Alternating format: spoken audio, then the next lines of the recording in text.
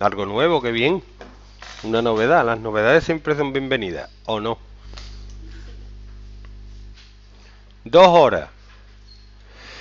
15 minutos. 12 segundos. Más una hora. 23 minutos. 21 segundos. Esta operación no tiene ningún problema, es una suma. 33 segundos, 38 minutos y 3 horas. Pero, imagínate que te ves seguía dos películas del Señor de los Anillos, que dura cada una, yo qué sé, 2 horas, 45 minutos, 37 segundos y 2 horas, 5 minutos 28 segundos. Va tú y suma, ¿no? Tú dices, venga, vamos a sumar. 7 8, 15, me llevo 1, 65, 50, 4 horas.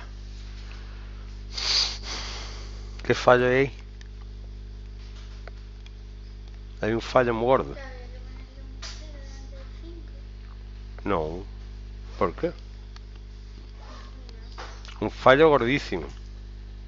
no es que esté mal, está bien hecho, pero no está bien expresado. Mira mi reloj.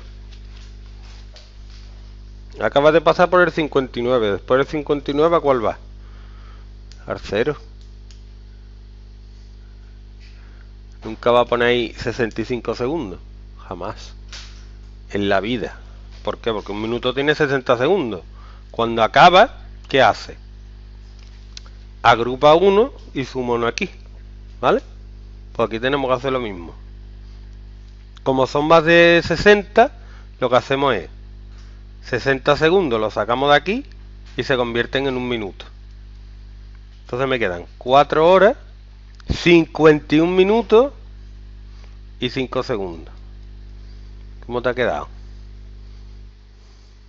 ¿Está entero de algo no? no, puede, el reloj no puede hacer eso. Entonces cuando llega a 60, suma 1 aquí y lo que queda lo cuenta.